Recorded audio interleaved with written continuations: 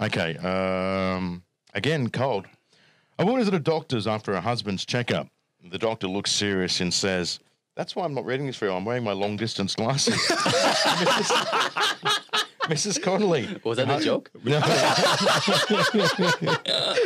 A woman is at a doctor's after her husband's checkup. The doctor's uh, doctor looks serious and says, "Mrs. Connolly, your husband's very sick.